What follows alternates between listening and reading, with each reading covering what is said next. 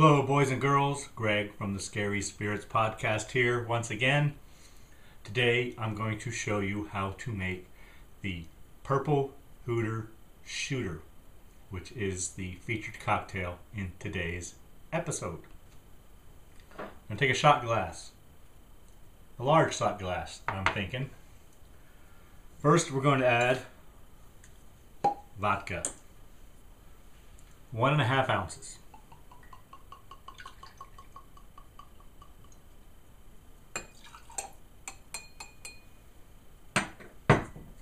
That's a shot right there, right? Next, we're going to add a dash of raspberry liqueur. Dash.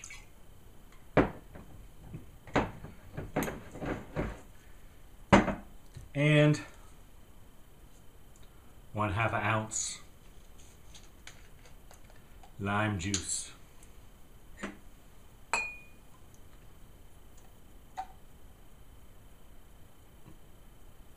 Half an ounce.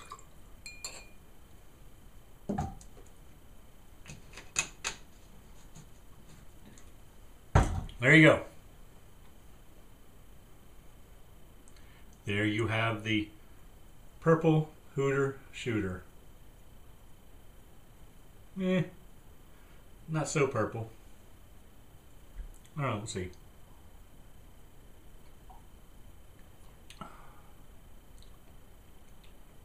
Not bad though.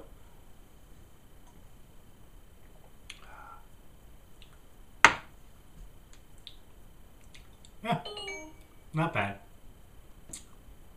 Thanks for watching. Hope you enjoyed the podcast. See ya. In the movie Terror Train, this week's episode of the Scary Spirits podcast, number 36, we find out that Baptists aren't allowed to play cards. Greg confirms this is true, as his ex Baptist relatives are huge card players. This just goes to show you that most everyone wants what someone says they can't have. I myself am unfamiliar with this aversion to gambling. I mean, since grade school, I've been going to church festivals, playing bingo, and slapping quarters down on the big six wheel. All in good fun, of course. Everyone is different, and we at the Scary Spirits podcast pass no judgment and encourage you to practice whatever brings you comfort. Oh, and if you're wondering, always bet on six. Cheers. Welcome to the Scary Spirits Podcast. Please be advised that the presenters may use adult language and or discuss adult situations. This podcast is not intended for younger listeners or those that may be easily offended. So, if you're ready, let's go.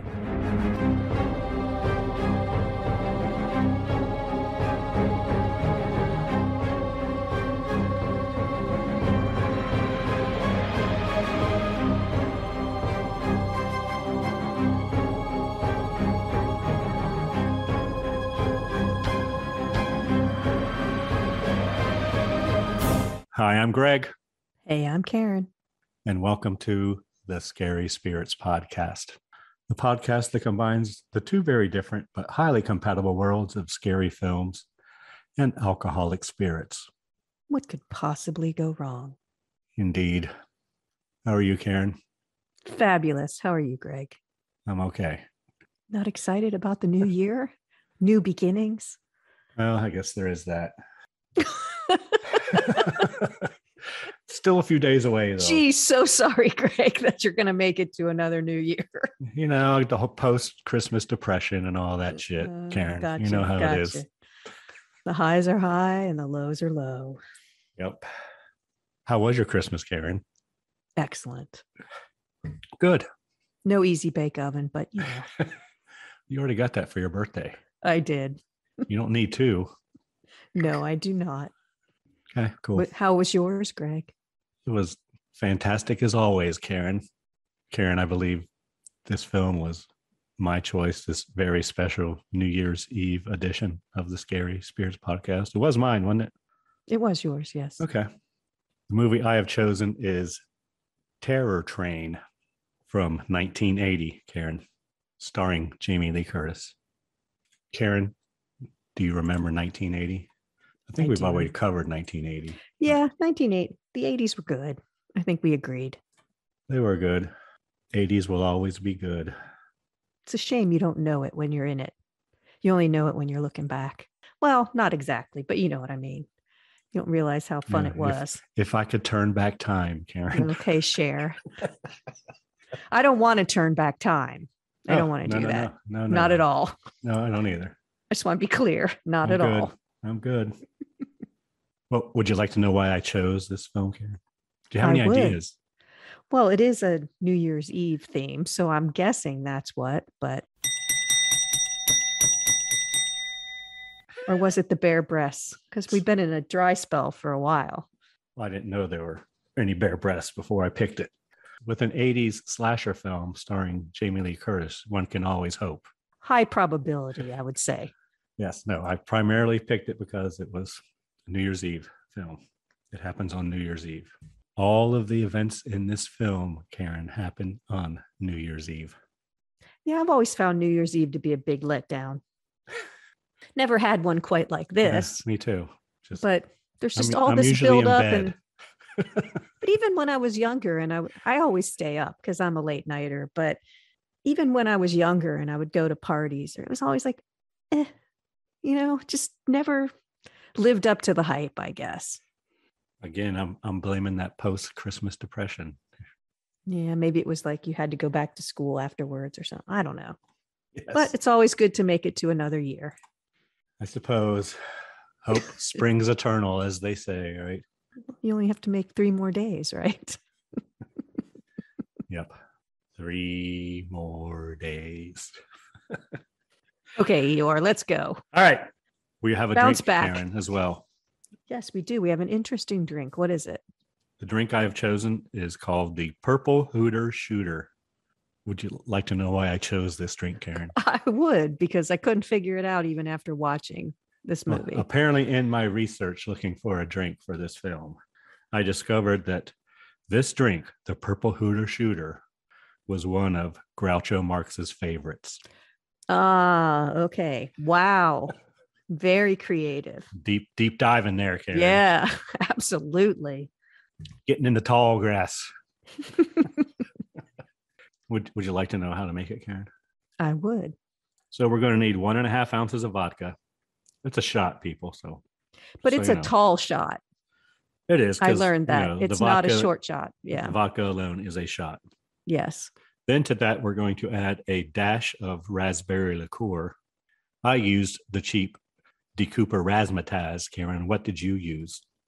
The only one they had at the store. Sham, what is it? Sham board or I don't know, something like that, but it's the top shelf shit, right? yeah, and I went and got it, and then I only needed a dash. I was not happy. but it's good. And we're going to need some lime juice, one half an ounce of the lime juice from the plastic green lime, Karen. Or if you're using real limes, it's about a half a lime Wow, squeezed. that's a lot. Well, it depends on the lime, but Would you like to know how to make it, Karen? we all would like to know how to make it, Greg. We're going to pour all of those ingredients into a shot glass and serve, Karen. And then enjoy. Well, yeah. I haven't, I haven't tasted it yet, so I don't know. Well, I've tasted it because it overflowed my tiny shot glass and I had to sip it. It smells good. It does. It's it's good. It's vodka y. Yeah, it's not bad. I might have used a little bit more than a dash of the raspberry liqueur. I mean, how much is a Yeah, I agree. I don't know. so I put like a teaspoon in, probably. You know. uh, yeah, about that much. All right, Karen. Should we give our listener time to make their own? Shouldn't take long. So Nope. Hold on.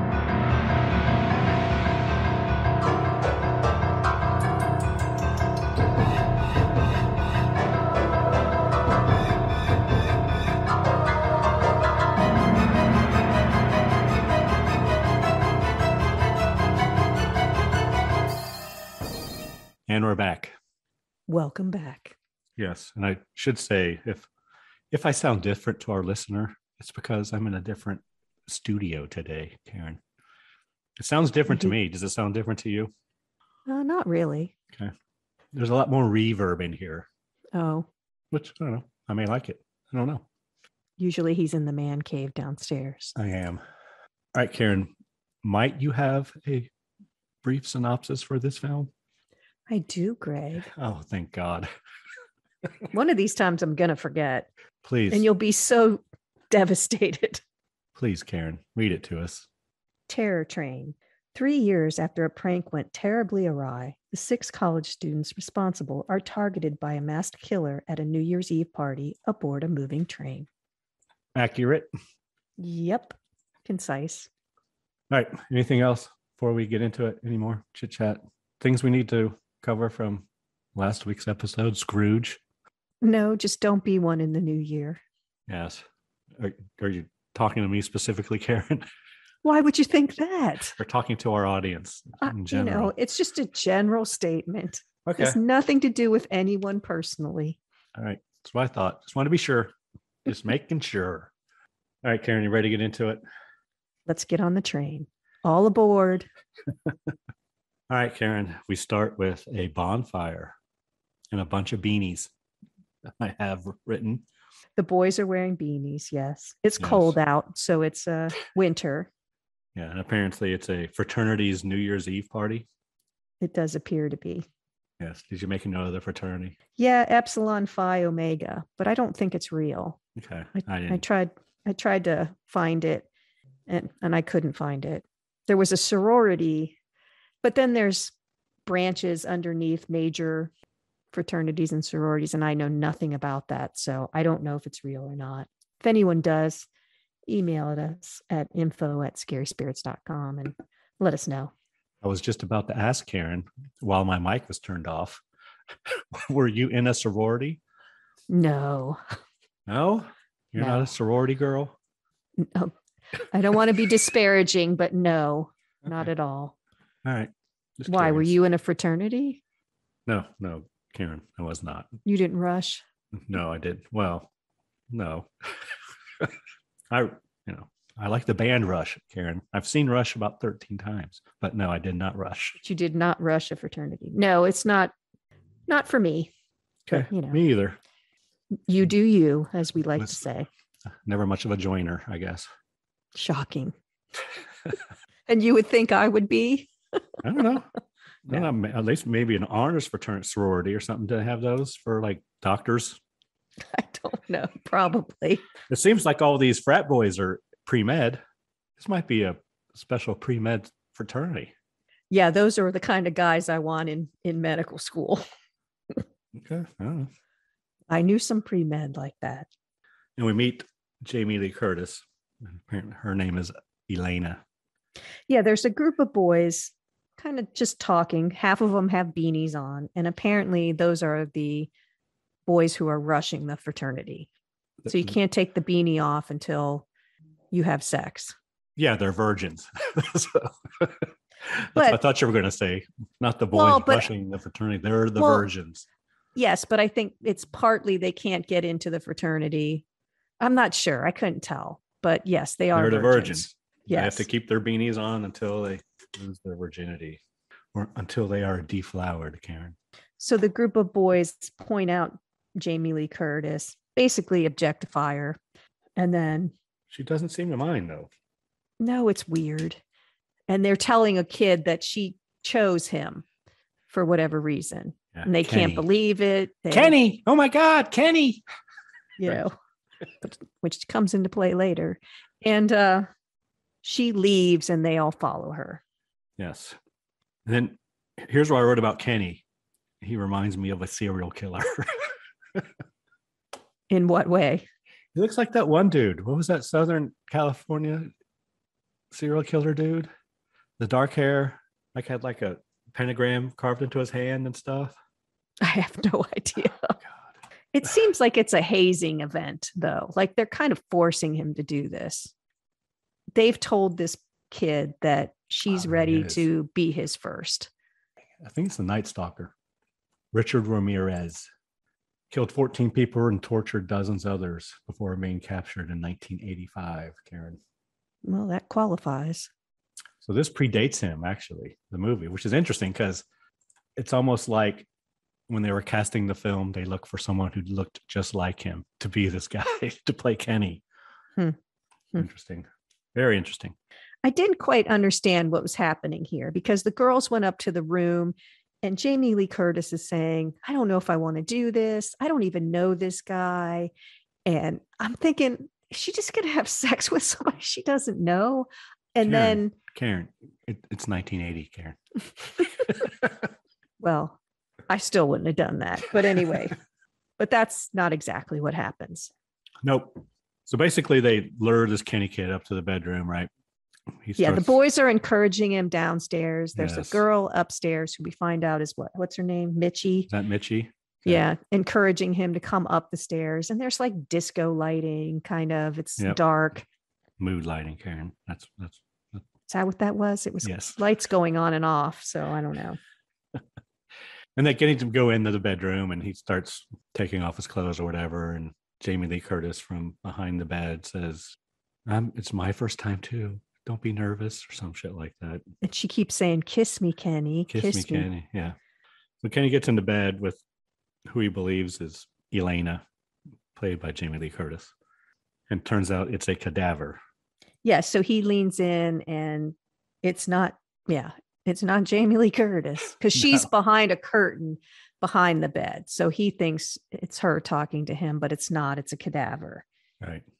And Kenny freaks out.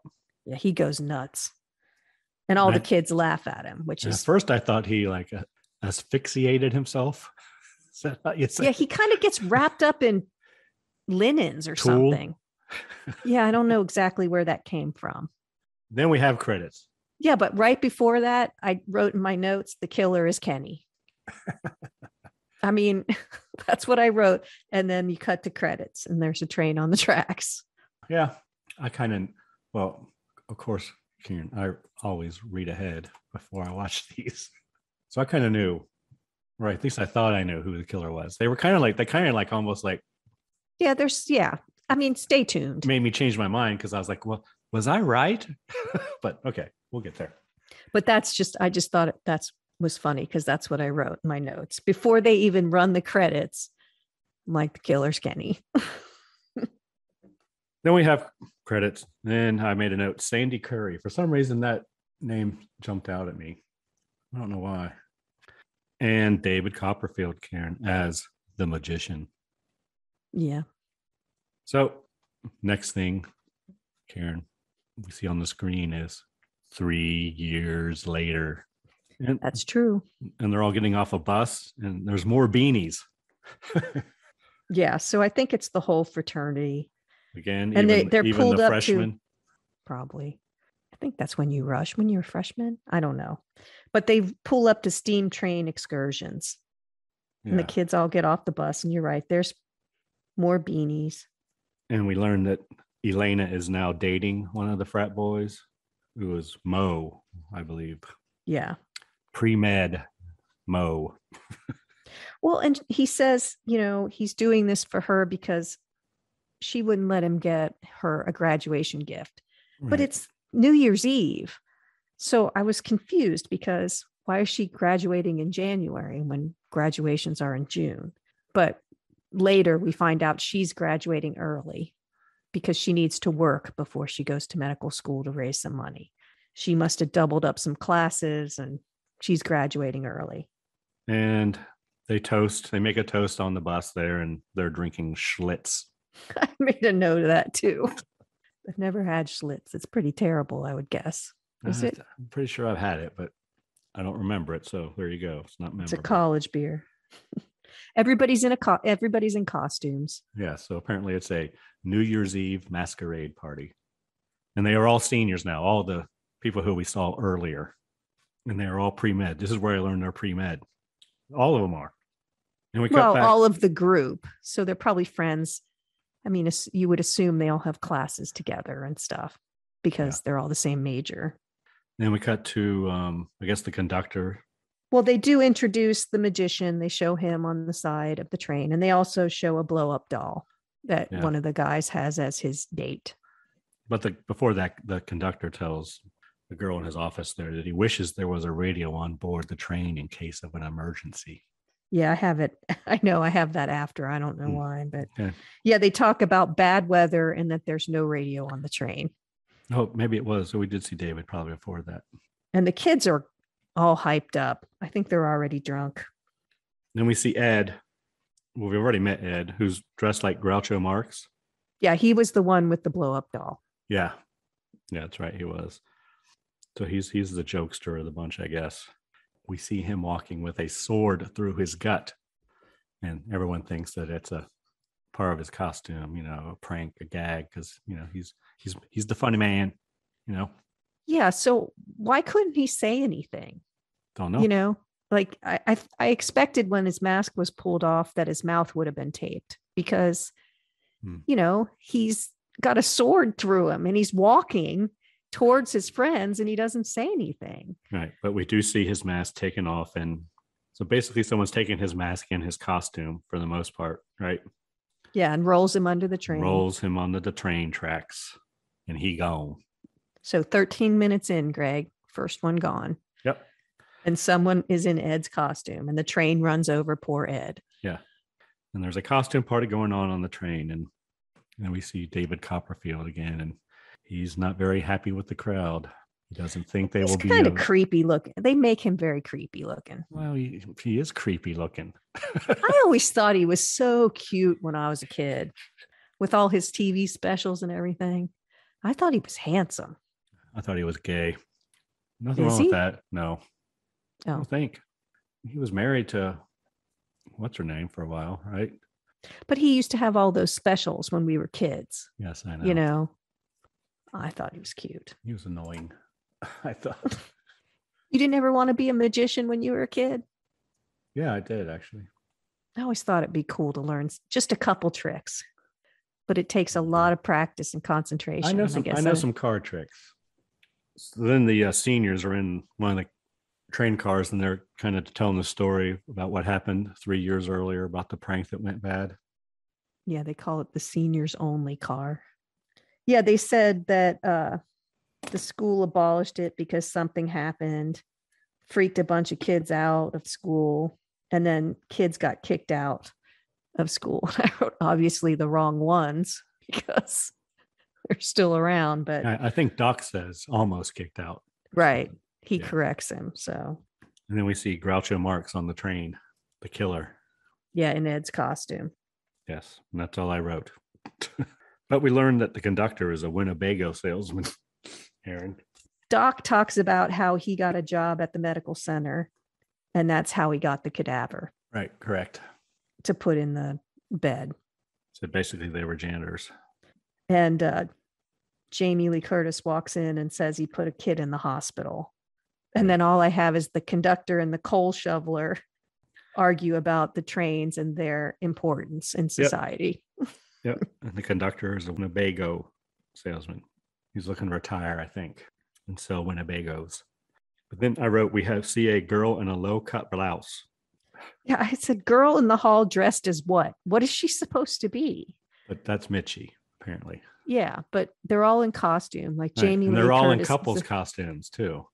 Oh yeah, because she Jamie Lee Curtis is a pirate and her boyfriend's a parrot. Right. But her boyfriend Doc is dressed as a monk or something. Yeah. So I'm not sure what she is. mean, she does very- have an old woman mask she puts on every now and then. Yeah, but that's not an old woman outfit. No, it's not. So- well, I mean, you do you. Yeah. I'm fine if you wear that, but that's not a typical old woman outfit for a costume. I couldn't figure out what she was dressed as. But she she runs into Ed. or Groucho. Yes. Groucho Marx. Sorry. Who And- she thinks is Ed. Right. Yeah. And gets gets a joint from Groucho. Next we see the dude in the lizard costume. Him and Groucho talk in the hall of the cabin there, and Lizard Man, who's Jackson, asked Mhm. um Groucho if he wants to drink. Says, yeah. So they go into the bathroom because apparently Jackson has his own personal stash and he doesn't want anyone to know he has it. I don't know. But they go in the bathroom and Groucho takes off his mask and Jackson says, Oh, it's you, or whatever. He says, Oh my God. Yes. He recognizes him. Yes. And Groucho slams his head into a mirror. which is weird because he's in that thick lizard mask. He takes it off though.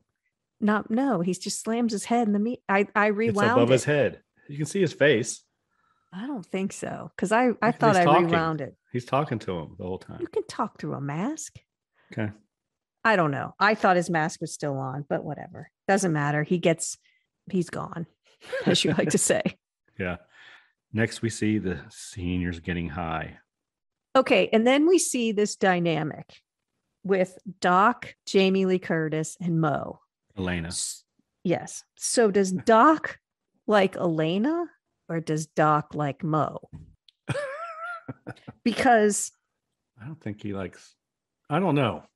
he's trying to break them up through this Yeah. whole movie. So who is he after? It I thought it was Jamie Lee Curtis, but Mm. later Elena, but later the way he's talking to Mo, I'm thinking, eh, could be Mo. Could be Mo. Don't know. Didn't really go there, but yeah, I guess. Because during this moment, Doc lets it slip that it was his idea for the train and not Mo's. Right.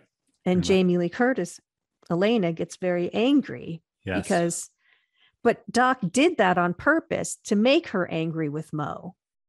And apparently Mo's got all all the cash dollars. yes. But apparently, Elena swore she would never go to another one of Doc's parties. ever. Right.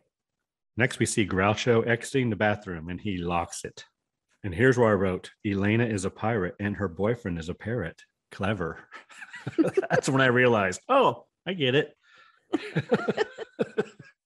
Nice. So then David Copperfield does some magic, some close up magic with Elena. Yeah, they have a little bit of a connection. He does the old quarter in the cigarette trick, Karen. I'd never seen that before. Have you seen you know that one? Yeah. Yeah, that's an old. You can do that one. If I have the right instruments, I am probably could. The trick, the trick quarter. But she's carrying it. Oh, does he switch it? Sleight of hand. Yeah. Yeah. Not to give away any, you know, magician's secrets. Yeah, because you're supposed to be sworn to secrecy. Well, I'm not a magician. So Do you know where the first magician they think the first magician was? Camelot,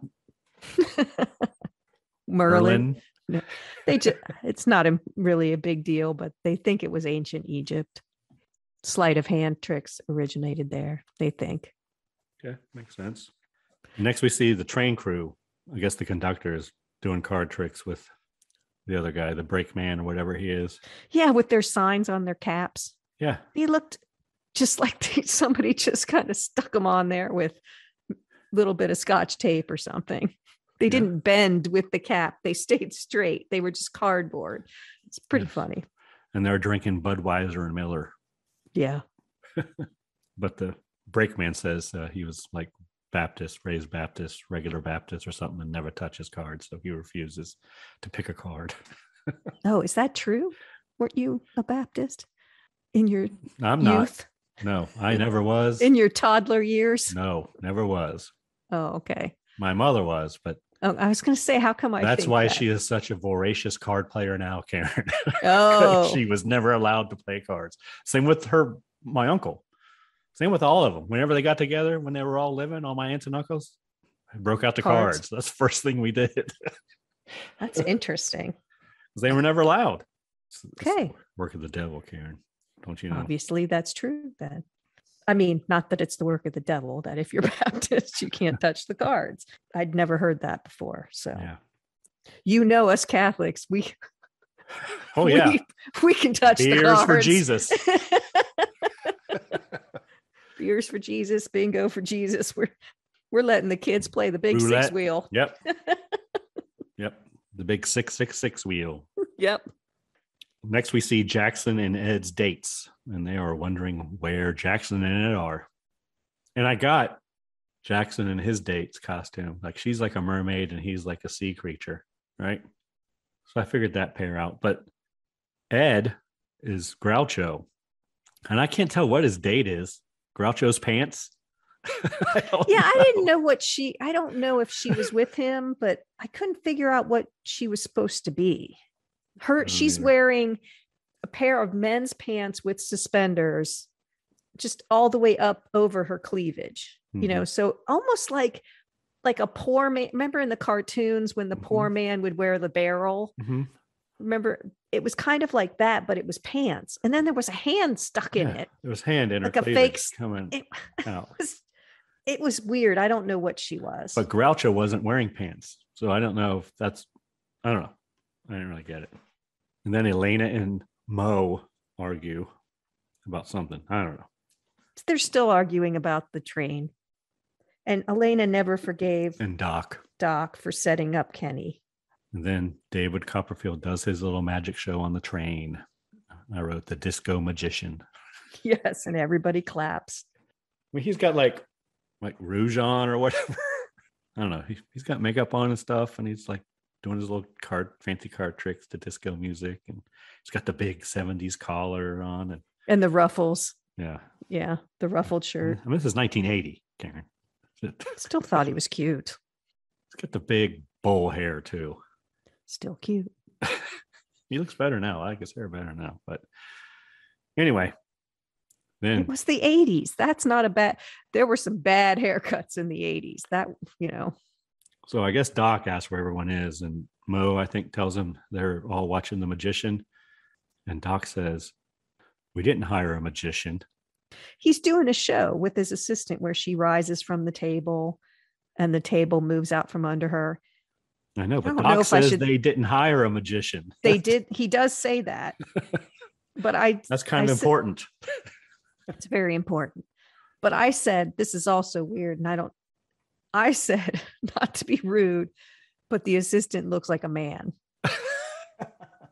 I kind of I- I thought I recognized her from like way back in the 80s. I thought she was his it- I think it probably was her, but we'll get there. So then and this is where I write, yeah. So I wrote, so who does Doc love? Elena or Mo? I know they just go off with Jackson and Ed's girlfriends. Doc and Mo do. Yeah, but before that, David Copperfield uses the hula hoop to go over the body to show that there are no wires. Yeah, that was bad. What do you mean? That's the classic using the hula I know, but I was watching. I'm like, you, you skipped a part there, David, right there in the center. but whatever.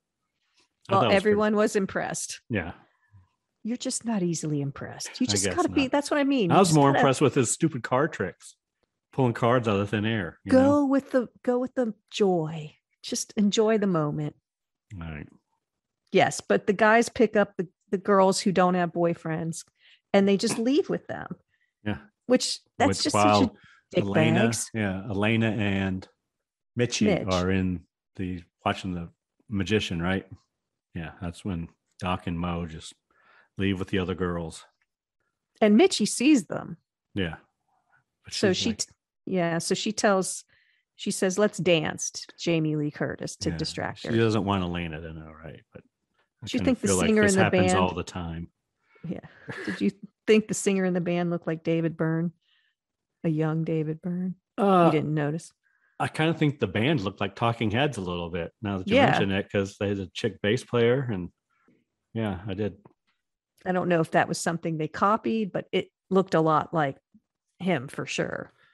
Then the um, conductor goes and opens the locked bathroom, Karen, and he finds Jackson in his lizard man costume with blood everywhere. Yep. I think he gone. Yeah, he's gone. Lots of blood.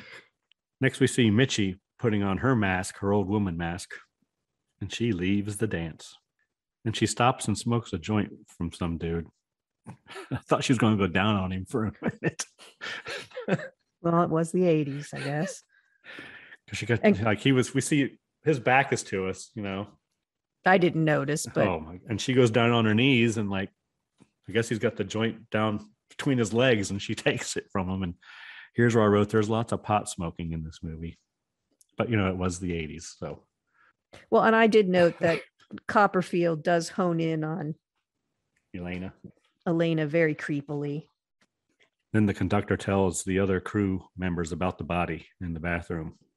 Of course, there's no radio. So the engineer decides he's going to speed it up a little bit to get to the station quicker. Yeah. He does. And the conductor and the other crewman, I think the boiler man. The shoveler. Yeah. One that had the, didn't it say boilerman on his hat? It might have. I don't know. But they go to check on the body and he is no longer dead, Karen. Well, he's He is yeah, risen. he, he he's Lazarus. He has come back. There's no blood anywhere. Still in his and- lizard man costume. Yes. But they, they think he's drunk. So Mitchie comes along and says, Oh, Jackson, I'll help you. and Whatever. And I keep waiting for Mitchie to fall out of her shirt, but she never does, I don't think. I didn't see that, but, well, anyway, but I wasn't hoping for it. So, you know, oh, and she trying to get the lizard guy to, you know, be romantic with her. is that what you're, is that what the kids call it these days? Sure. Well, I think she's mad because she saw Doc go off with another girl. So I think, Well, his his girlfriend, Jackson's girlfriend. yes, but she saw them. So she's, Yeah. You so she sees kind of Jackson's girlfriend. So Mitchie sees Jackson's girlfriend and Doc coming towards them. I didn't notice that, but yeah. Well, yeah. And she pulls him up. She pulls Jackson, who she thinks is Jackson, up into her bed compartment. And he jumps right up. He's not drunk anymore. And Right. this is when she tries to convince him to have relations or whatever. Yeah. She's being very romantic, as you would say. Yes. She's trying to seduce him a little bit. but he takes a hand and starts. Tries starts to cop a feel with a dead person's well, hand. he, first he has his glove, his costume hand on, and she asks him, you know, "Can you lose the fin?" Oh, she does. That's right. Yeah. And that's when he takes a severed hand, and she says something like, "Well, you know what they say: cold hands, warm heart." Is that what they say, Karen? Cold hands, warm heart. Depends on who they are. They say lots of things. They do. And he covers her mouth, and pretty sure she gone. Was what I wrote because we cut immediately to David Copperfield and Elena. Yeah, they're flirting. Yeah, is this when he does the trick with the rose and all that shit? Or is Yeah. that later? No, it's now. Okay. Nobody seems all that tethered to their significant other in this movie. It's, it's, it's 1980, Karen. You could still be tethered in 1980. Well, I don't think. Greg. I think. Well, I think Mo Mo's okay. I think because he he really tries to like No, I get. Yeah, in a minute we'll chick see. away, right? Yeah, we'll see that Mo's an okay guy in a minute. Doc Right. is not, but Jamie Lee Kurt or Elena is intrigued by the magician. She's Yeah, yeah. She says, "You do this for all your fans." Like now, she's a fan. He says, "No, first time."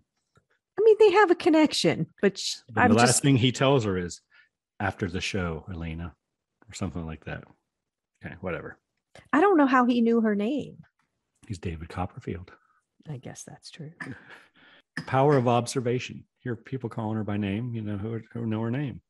I know, but I thought that was supposed to be some sort of hint. So then Doc tells Elena that Mo is really sorry and wants to apologize. So Yeah, so Doc is trying to get Mo in trouble he again. is. Yeah. So who does he love, Elena or. Mo? And then we cut Yeah. back to Mo and Ed's girlfriend, and she's trying. She's trying really hard to seduce Mo, but he's resisting her feminine charms. Yeah, she basically loses all her clothes. Yeah, we do see two bare breasts here. Natural. Natural. Mhm. Next, we see the conductor, and he's trying to figure out what happened to Jackson. How could he be dead and bloody one minute, and then the next minute he's fine? Yeah, he wants to know what happened to the blood and the busted mirror. Well, the mirror's still busted, But all the blood is off of Right. it. so I think he has like a light bulb moment there or something, and he runs off. And next, we see David Copperfield again. Karen doing some more magic shit. Yeah, and Doc's being a jealous heckler. Yeah, Obviously, Doc likes to be the king of the room. He wants to be the prettiest princess. He doesn't want David Copperfield to be the prettiest princess. He's heckling pretty hard. and we see the conductor in the sleeper car. I guess he's going back to the bathroom to have another look.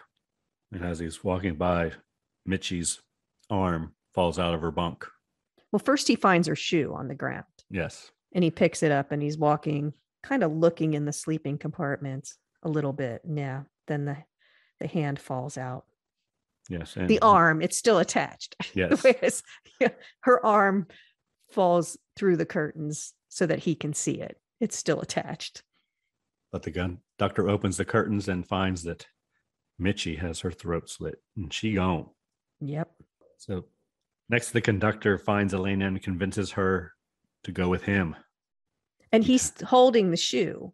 Yes, wants to know, do you know whose shoes this is? Yeah. She says, Yeah, it's my friend. I'll give it to her.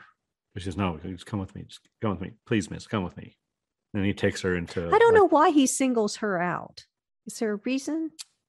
I don't know. You know, like why is he talking to her about? Is it just because she recognizes the shoe or Maybe. But he takes her up to where the cruise area is. Well, she almost busts Mo because she's trying to get in to see Mo, and he realizes that Doc set him up. You know, that's kind of a light bulb moment for him. But yeah, then they go to the conductor takes her somewhere away from everyone else that looks like his office space or whatever. and he tells her that Mitchie is dead. And he have- shows her. Well, then we have David Copperfield again. That's what I have. And then Elena finds Mitchie and She sees her. loses it. Yeah. Yeah. Well, as you would. That's her best friend. Right. And here's where I wrote Doc is a dick. so did I. is he still heckling David Copperfield? he is. He- Okay. but he's doing the magic trick. Oh, is this the one with the know- switchblade? Yeah, Yeah. where he's going to tell him his card and yeah. he's going to do it without looking. So he covers the cards because Doc's yelling, This is third grade stuff. This is easy. It's amateur. And then David Copperfield covers the cards with a piece of newspaper and drops the knife and then pulls the newspaper away and it's Doc's card. Doc has signed his name. And then the next thing I have is I think the conductor has figured something out. He finds a bloody rag in the bathroom. Yes. And then there's more David Copperfield I wrote. Next, we have the conductor searching the bathroom. And he finds the bloody Yeah, like shit. Well, it's just like it looked like one rag. And there, when you first saw Jackson in there when he was dead, there was blood everywhere. And then he picks up this little washcloth that's got a few stains of blood on it. And that whole place is pristine. There is not one drop of blood in there. It was pretty funny. That was some magical cleaning. Yes. And then we cut back to David Copperfield doing the show again. But now Mo is unresponsive. That was so weird. It was weird. All of a sudden, Mo is just dead or won't wake up. Sorry, don't mean to jump ahead. Mo won't wake up. Yeah. And Doc is screaming for help, but no one believes him. Yeah, because it's like the boy who cried wolf. Right. Doc's the Joker, so no one believes anything he's saying is, you know. Doc carries Mo back to like the cabin car or something, and they lay him down and try to figure out what's wrong with him. And Doc keeps saying, "Oh my God, I'm a I'm a pre med student. I'm a I know. Like that means nothing, people. why can't I figure you, this out?" You learn no medical training as a pre-med student, at least back So in the 80s. eventually, they undo his shirt, and if he's got a big gash down his chest. It looked like to me. I don't know how he got it, but And I just wrote, do they want us to believe the killer is David Copperfield? Because he kind of disappeared from the stage and then and then was sort of behind Mo for a little bit. yes, and then Mo I- was I- unresponsive. I believe they think they want us to think it's David Copperfield. So then Doc asks about Mitchie, and Elena tells him that she gone. So the conductor runs up. Oh no! Doc pulls the brake cable to stop the train, and the conductor's there and says, "Well, brace, we're brace, we're going to come to a halt." But it doesn't. So he's like, "Uh oh, yeah, that can't be good. something ain't right." So he runs up to see what happened to Walter, who's the engineer, I guess. Calls him Walter. yeah, he the conductor says Walter should have hit the brakes and goes to find him. But Walter ain't there. He's not in the locomotive. So the conductor starts to put on the brakes Everyone goes flying. and the train eventually stops. Conductor gets everyone off the train and he begins a search for the killer. He has the crew searching the train, right? Well, and he holds he takes up a roll call. first he holds up the hat of the coal guy, the, Yeah. and it's bloody. And he says, I wonder what happened to him. He's just gone. I, Yeah. I couldn't tell if it was bloody or not. Yeah, it was a bloody his bloody hat. It's pretty dark. Yeah, it, I agree. And then, yeah, everybody off the train into the cold, and the staff's going to search the cars. So you take they take roll call once everyone gets off the train. And then Elena tells Doc that she thinks it's the kid they pranked, Kenny. She tells him that she went and saw him in the hospital after they pranked him, but they wouldn't let her see her because they said he had killed someone in the past. He ain't right, apparently, Karen, which is interesting information to be dropping just now after three years, but whatever. Yeah, she didn't even tell Mo. I mean, but he, the conductor tells everyone to take their masks off and stick with their friends. Yeah. So, And here's where I wrote the train staff don't be seem to searching very be searching very hard. no, because they're walking right past the the um sleeping chambers or whatever, and they're not even looking at any of them. they're them. not opening any doors. They're not, They're not doing, doing anything. anything. They're just walking down the down the train. That's it. Nothing. Not opening any, any doors. Not looking in. Whatever. So But then Doc- the conductor tries to Well- get everyone back on the train. Doc first Doc drags Jamie Lee Curtis, Elena back into onto the train by themselves. They're in a room by themselves. And he locks her in the cabin. Yeah. He thinks he's trying to keep them safe from Kenny. And they get out the yearbook. And well, the kids outside are getting edgy because they're freezing. They're in costumes, which aren't warm, you know. yeah. But Elena and Doc are in there already looking at a year an old yearbook. And they look up Kenny and they see what, Greg? He was a magician, Karen. Yes. So they think David Copperfield it is, is Kenny. David Copperfield. but they think he's Kenny. Yes, they do. Well, they call him Ken. Even that's his name is Ken in the movie. His assistant calls him Oh, Ken. I The thought it was conductor Kim. calls him Ken. Oh, Oh, they I call didn't- him Ken. All right, I didn't catch that. Yeah. That would have been a big. That's a big clue, big ass clue I missed. That is, yeah. But the conductor tries to get everyone back on the train. They don't want to go. They want to go home. And he says, "You can't walk home. There's no roads out here. You'll freeze to death." We don't want to get back on the train with a killer. Yeah. Just reasonable, but they're going to freeze if they stay outside. Right. So back in Doc's cabin, Elena wants to warn everyone. Doc says he is staying where he is. And he ends up locking Elena out. She gets out and he locks the door. Don't let her back in. He's I think he says something about survival of the fittest or something at one point. There's somebody out there. It's a staff member, but he's like, "You're on your own." Yeah, all we see is a guy running down the train with an axe. Yeah, and it, but it's a staff member, It's not. the yeah, yeah. it's the brakeman or whatever. So Doc's in his room alone. And Doc is getting paranoid. He starts checking all the closets and all the spaces in his room. Yeah, that anybody could be. The luggage compartment up high, the any closets, all the doors he's opening. And he opens one, nothing. Opens another, nothing. Opens a third one, nothing. but he sees something looks like he like i couldn't really tell what he was going after something under the bed across i don't know I couldn't couldn't tell. tell. It looked like a pile of clothes or something. but as he's walking towards that way a hand comes out a finger painted hand Yep. a hand Nails with finger painted. paints painted nails and pulls painted him nails. pulls him back but he gets away the hand is put on his shoulder as he's leaning up against the wall he's kind of freaked out He's wigging out. and so And then, then- he, he looks and he thinks it's mitchie right Yeah, because it's got her ring. oh okay and painted nails Yeah. and then his throat is slit gone Yeah. Doc thinks it's a joke. He's like, oh, it's all a joke because he he Right. thinks it's Mitchie's hand and she's not really dead. And he thinks that he's being pranked. correct Is it a switchblade? Because that would it almost tie looked back. like a straight razor to me. oh, because that would tie back to the trick. But I don't. It just occurred to me if it was a Hmm. switchblade, it would go right back to David Copperfield Mhm. with the cards. But I don't know if it was or not. Hmm, don't know either. But next, we're cut back to David Copperfield again. Being creepy. That's all I wrote. Yeah. And then Elena thinks she knows who the killer is. She tells the conductor that she thinks it's the magician. And they go to Doc's cabin. They open the door, and Doc's cabin is a bloody mess. I just wrote blood everywhere. Blood, blood, blood. The conductor finds Doc's body in the overhead baggage compartment. Yeah, he opens it and the body falls out. Well, the body falls out and then shortly followed by a severed head, Karen. Yep, the decapitated head. Not a very And good one either. No. and then and then Jamie Lee screams two along with the train whistle, which happens often in Yeah. this movie. Makes sense. The conductor gets everyone out of the car where the magic show is. And the last one he takes out is the assistant, right? Yeah, he's trying to lock the magician in his room. And this is when he says, "There's coffee, ma'am. There's co- we got hot coffee, ma'am. Come on."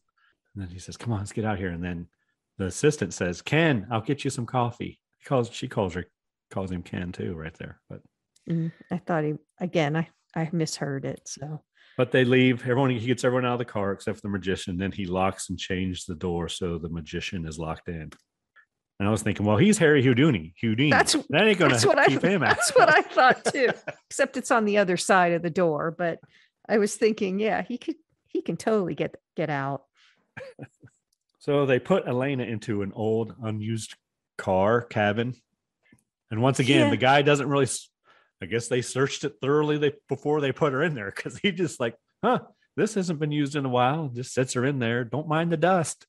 so Yeah, and he does the old "I'll be right outside the door."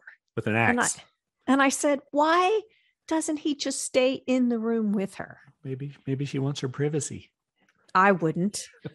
Uh, because if he gets killed out there, she'll never know it.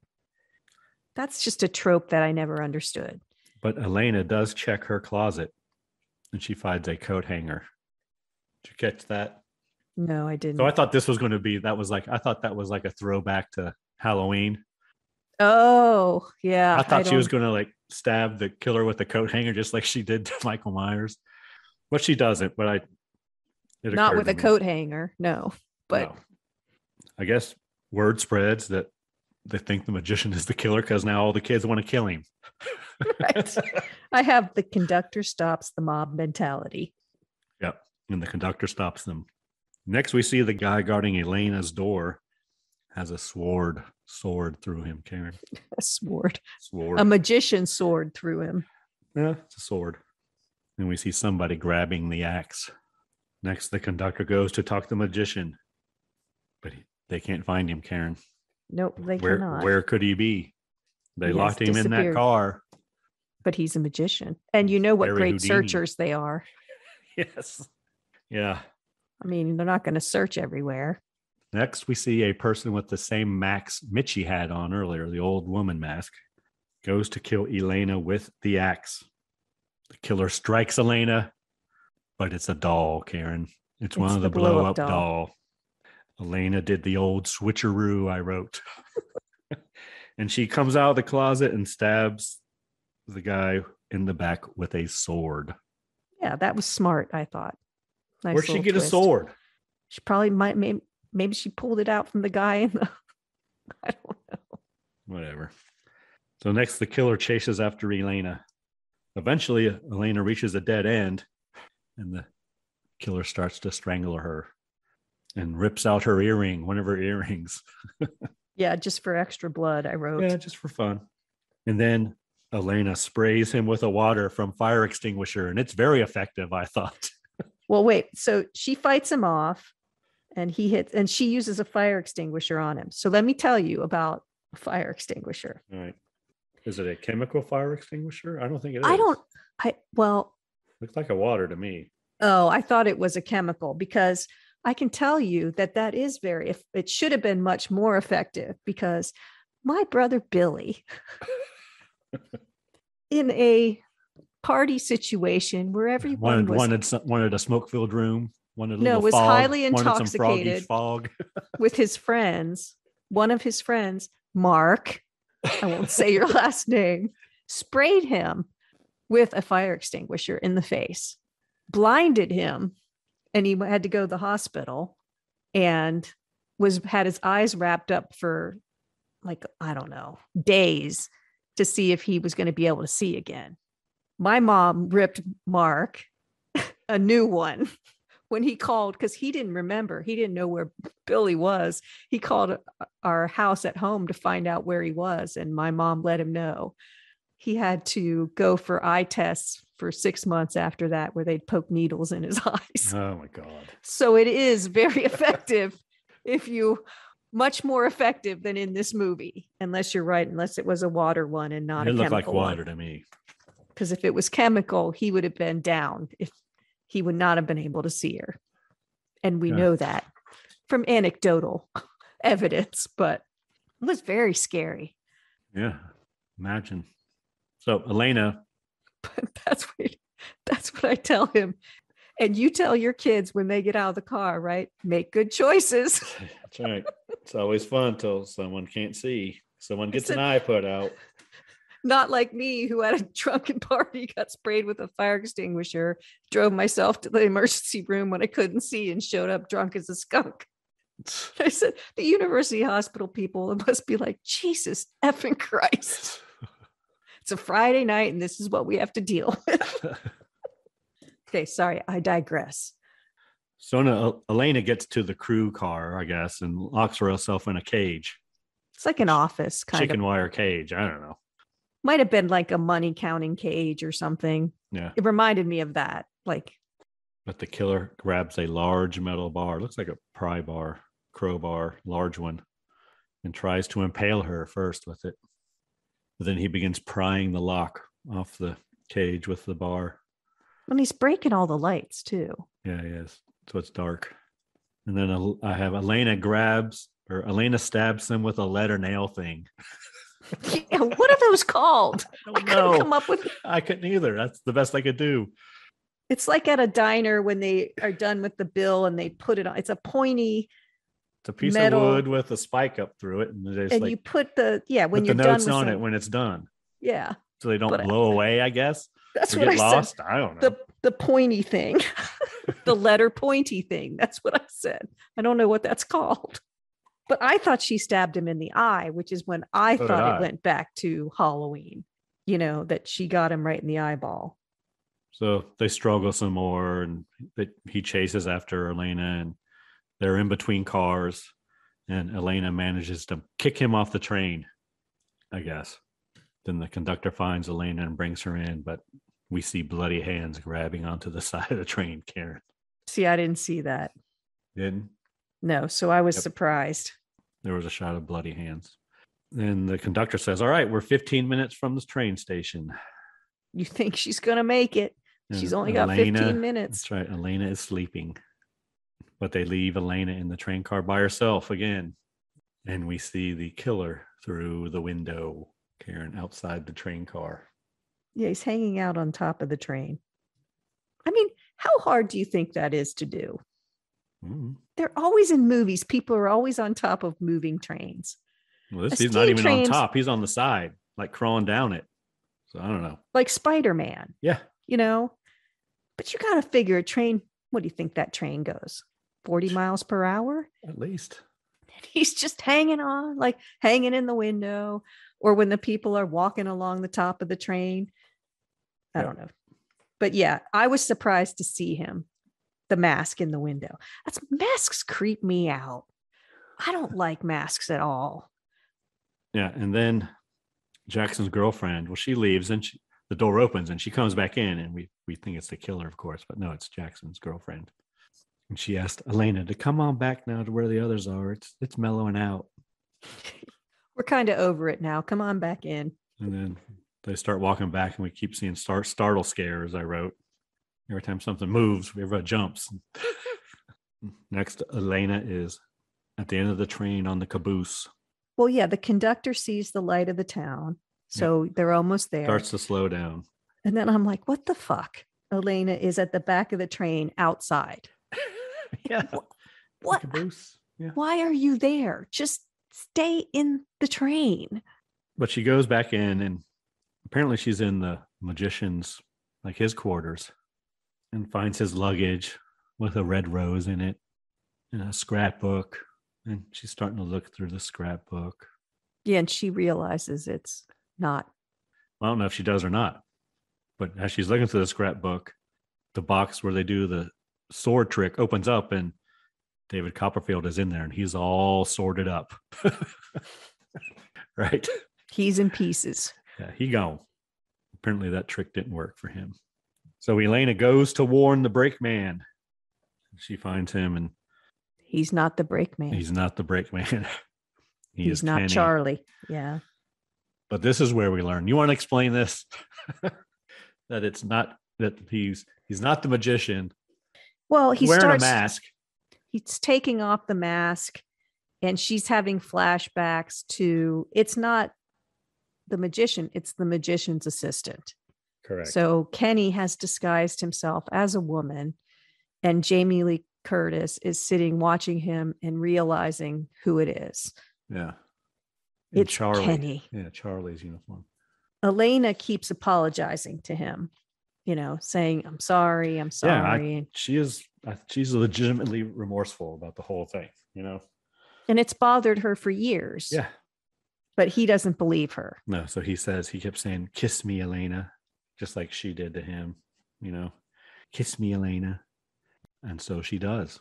Yeah. And then he just goes nuts. Yes. And Kenny starts spinning just like he did three years ago. I wrote.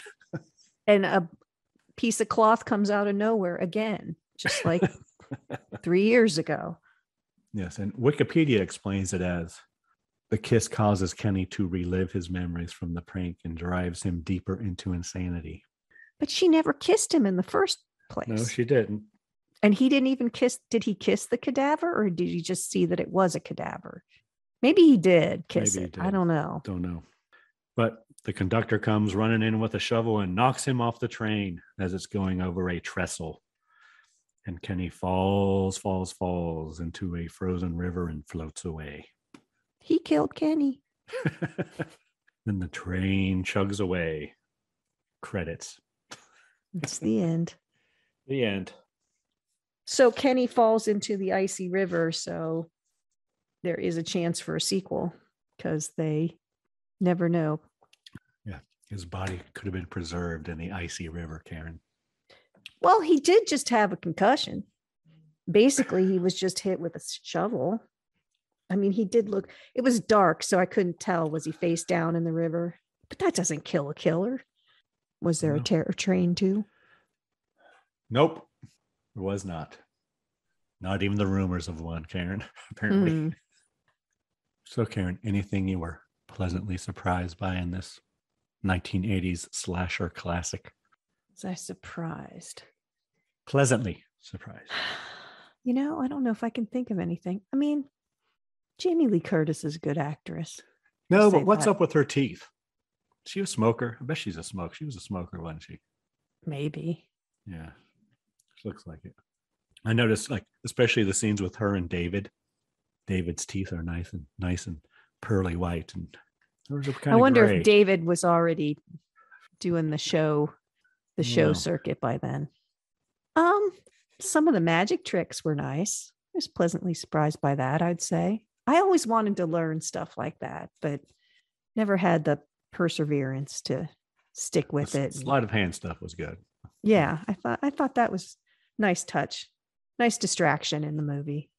Kind of liked how there was like a whole magic undertone of the thing too, with the conductor doing his magic and Yeah. You know, it's I- like him trying to figure out who the killer is. It's kind of like him trying to figure out a magic trick. How how they do that, that kind of stuff. That's deep. I just like the whole Hey, yeah, I, uh, I would Karen, say Karen, it's me. It's true. Sorry, sorry.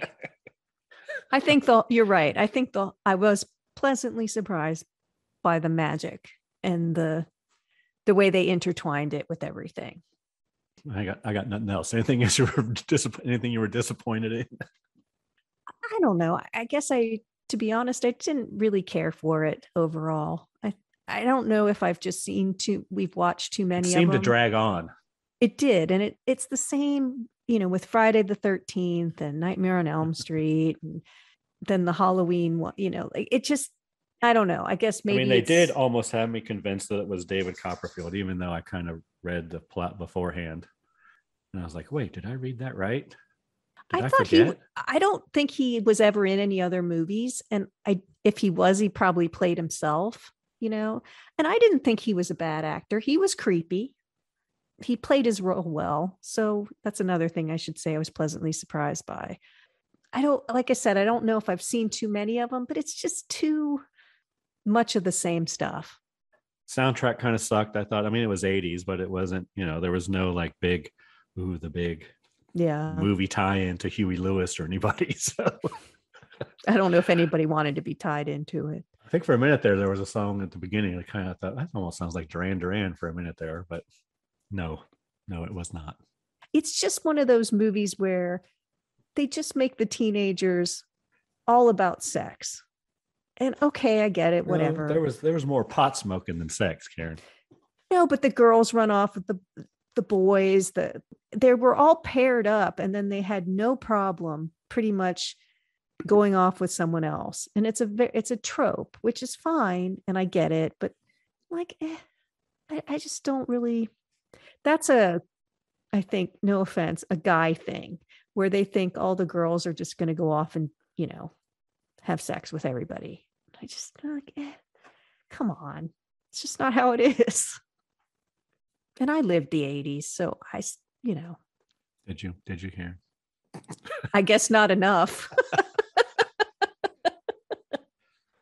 That's I just disappointed in that. What Were you of- disappointed in anything?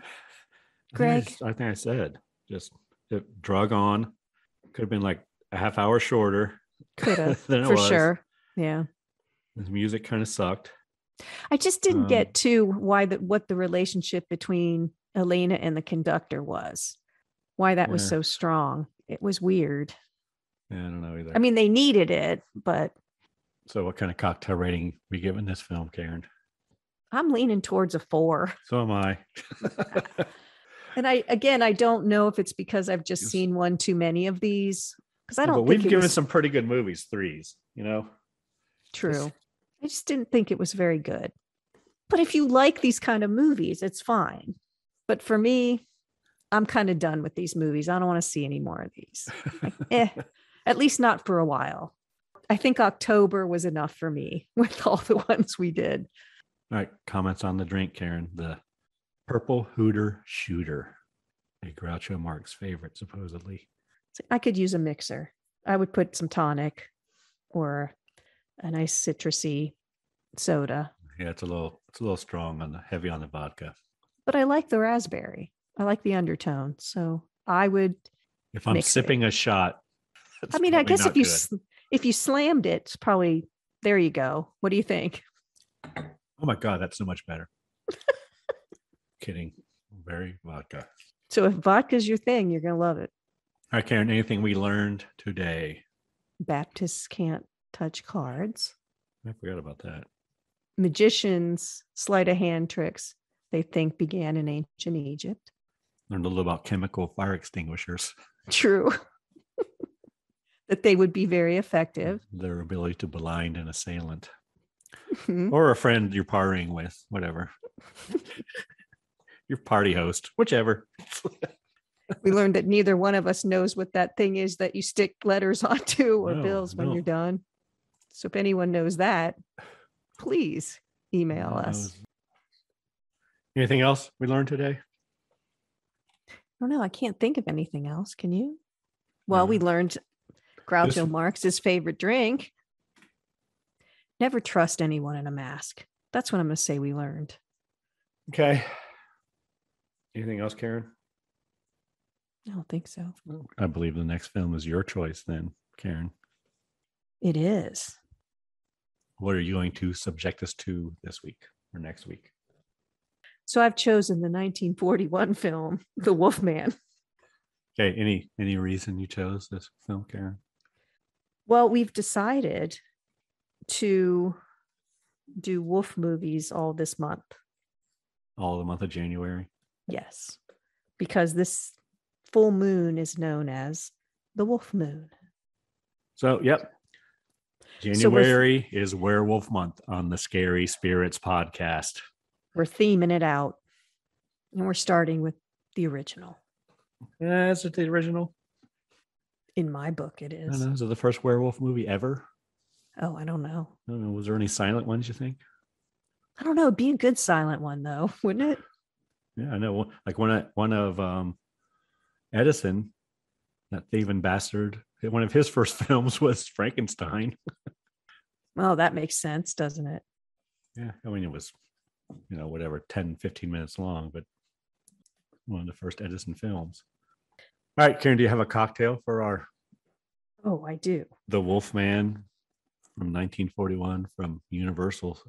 It is called the Tequila Moonrise. Our second tequila drink? Yep. It's very similar to the first one in a way. So you're going to need tequila, cracked ice, grenadine, orange slice, and a maraschino cherry. And then you're going to need carbonated orange soda, like Orangina or San Pellegrino, and more grenadine. So this is from the True Blood cookbook. Oh, you're gonna have to send me that one because I ain't probably going to find that one online. True Blood eats, drinks, and bites. I used to watch True Blood all the time. I love that show. Went a little off the rails at the end, as they all do, but the first couple of seasons, I never missed it. Because vampires. So, anyone you need to thank, Karen? You know, I was thinking, I think we need to thank our logo designer because our logo is pretty cool, if I must say so myself. And we owe it all to him. So if you're looking for a great logo, contact Chad Savage. At Sinister Visions. He's got a lot of cool stuff. But I like our logo. And I was just thinking Sinistervisions.com. we should let everybody know who did that. So thank you, Mr. Savage. Yep. He has lots about of, you? Lots of cool stuff. Um, well, I need to thank Verse 13 again, Karen, for letting us use their music on the podcast. All their info's in the show notes. I'll put Chad's in there as well. A link to his website and whatnot. Yeah, really do check him out. And verse 13. Probably Anything- way more interesting than this. Uh, I don't know. Anything else, Karen? Well, Happy New Year. Yes. Happy New Year. And we should say, go Bearcats. Yes. Absolutely. the big game is just a few days away, Karen. We're all overly invested. it's just a football game. It's just a football game. That's right. I hope next year is better than this. In what way? No pandemic, you mean? Or Every way. Any- I'll take whatever I can get. I agree. Go science. I'm kind of over it all. And especially this Friday night, please drink responsibly. Yes. We want to see you in 2022. Yes. Thanks for listening to the Scary Spirits podcast, where the movies might be iffy, but the drinks are always solid. We would love to hear from you. You can find us on Facebook, Instagram, and YouTube at Scary Spirits Podcast, or go to our website, scaryspirits.com. And if you want the direct line, email us at info at scaryspirits.com. If you really want to help us out, leave us a review on Apple Podcasts. And remember, always drink responsibly. See you next week.